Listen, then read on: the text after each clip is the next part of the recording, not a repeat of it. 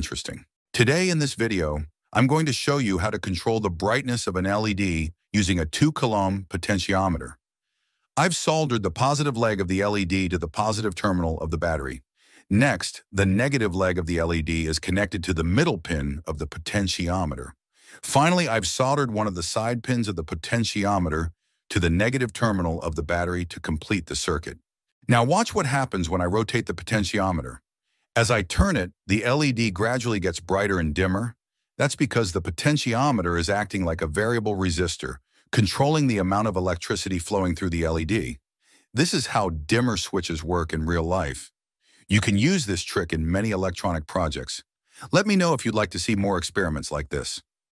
Today, I finally received the V-type supercapacitor I ordered. Let's unbox it and take a closer look. At first glance, it may seem small, but don't be fooled. It packs a punch. To get it ready, I'll charge it using a 6-volt battery for just a few seconds. This is a 1F 5.5 volt supercapacitor, compact in size but powerful in performance and now it's fully charged. Time for the real test.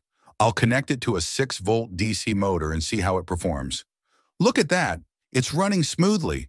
Supercapacitors are truly fascinating.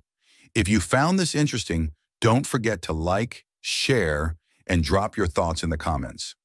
This is a 12-volt gear motor that I extracted from a 12-volt air cooler.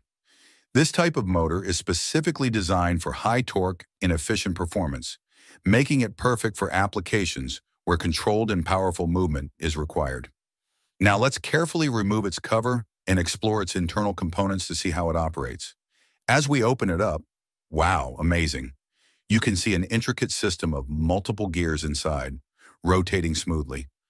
These gears help in reducing speed while increasing torque, allowing the motor to drive components like oscillating louvers in an air cooler.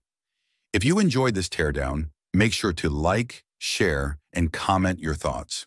What other motors or gadgets should I explore next? Let me know in the comments.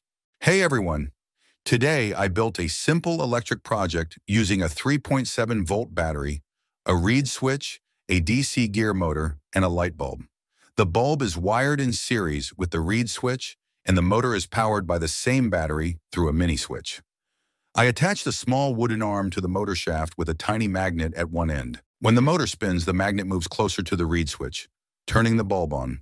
As it moves away, the bulb turns off, creating a cool automatic flashing effect. Let me know what you think in the comments. Today, in this exciting video, I'm testing the power of this high-speed drone motor to see if it has enough thrust to lift this dinosaur toy into the air. This motor spins at incredible speeds, generating strong airflow, just like the ones used in actual drones. Will this tiny but powerful motor be able to lift it? Watch till the end to see the results, and don't forget to like, share, and comment with your thoughts. Here's an amazing LED solar outdoor light with a motion sensor. It features three lighting modes, making it perfect for your garage, garden, street, shed, or yard. This light is waterproof and built for all weather conditions, ensuring reliable performance outdoors. The motion sensor detects movement and automatically turns on, providing added security and convenience.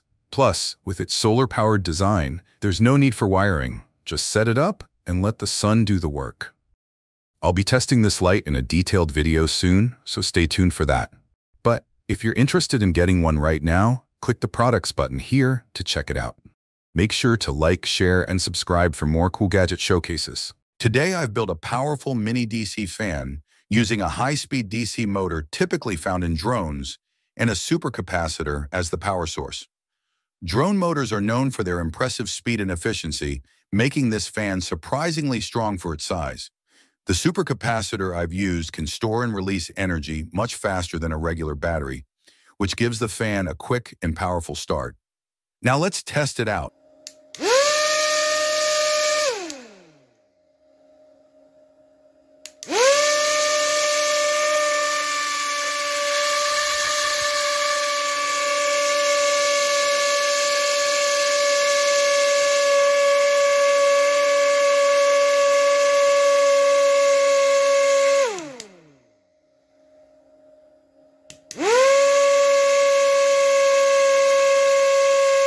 This is an LED. Now let's connect it to a 3.7 volt battery through a 100 ohm resistor. As we complete the circuit, the LED lights up, indicating that the current is flowing in the correct direction. Now let's reverse the polarity by swapping the battery connections. Since LEDs are diodes, they block current when reverse biased, so the LED does not light up. To solve this issue and allow the LED to work regardless of polarity, we'll use a bridge rectifier. Now we reconnect the battery and the LED lights up. If we swap the battery terminals again, the LED still works, demonstrating how the bridge rectifier automatically corrects the polarity. A farad is the unit of capacitance in electronics, named after Michael Faraday. Capacitance is the ability of a component to store electrical charge. A capacitor with a capacitance of 1 farad can store 1 coulomb of charge when 1 volt is applied across its terminals. 1 farad equals 1 million microfarads. This capacitor rated 500 farad, which is equal to 500 million microfarad, which is a very big value.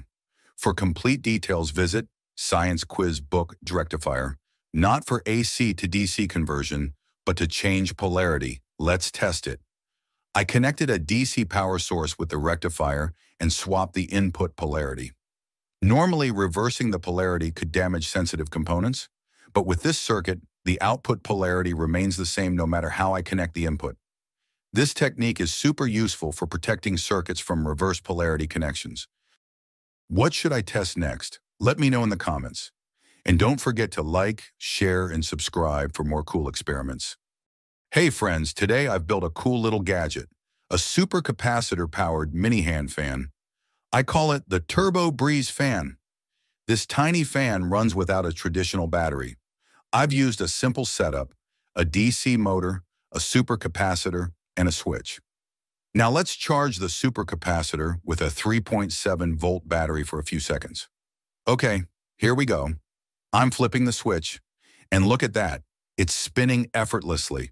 But here's the twist. How can a fan run with just a few seconds of charging? What's the secret behind the supercapacitor's power? Can you guess the science behind it? Let me know in the comments. This is a 12-volt LED. Let's try to light it up using a 3.7-volt battery. But wait, it's not working. As expected, the voltage is too low. Now let's try something different. I've connected two DC motors using pulleys and a rubber band, so when one spins, it drives the other. Let's see what happens next.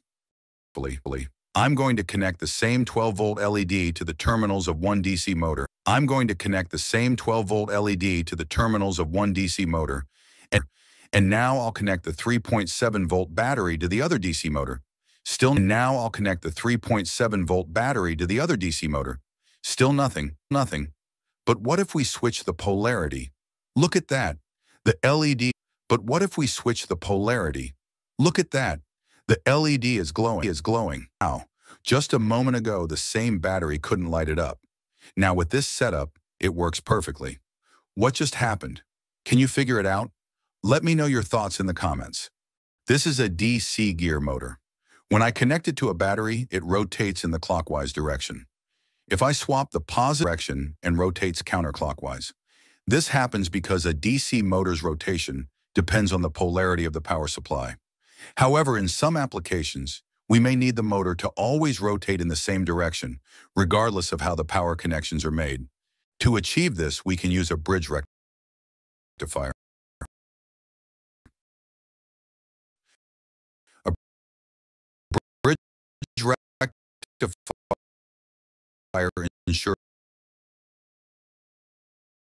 that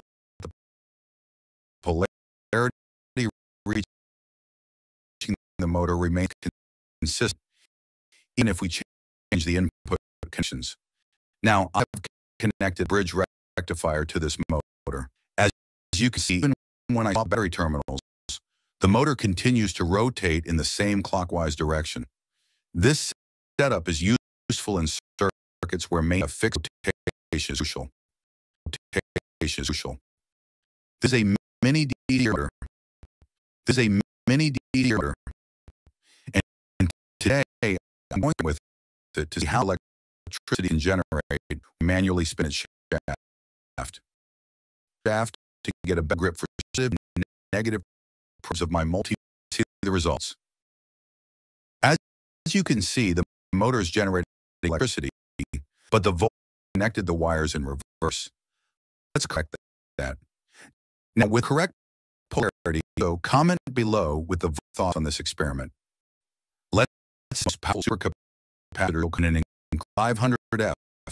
But what does that really give you an idea? Of a 500 F supercapacitor can store a surprisingly large amount of energy compared to smaller capacitors. Farads measure how much electric charge a capacitor can hold. And 500 farads is massive for such a small component. Now, let's get to the test. I'm going to connect LED to the, the supercapacitor. Will it light up? And if it does, how long do you think it's on with just 0.7? If you know why 500 farad is such a big deal, drop your answers comments below. Something unbelievable just happened.